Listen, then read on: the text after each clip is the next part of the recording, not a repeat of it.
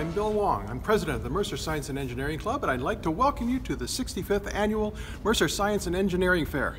For students to compete in the Intel International Science and Engineering Fair, they have to be one of the winners at one of the regional fairs like ours, the Mercer Science and Engineering Fair.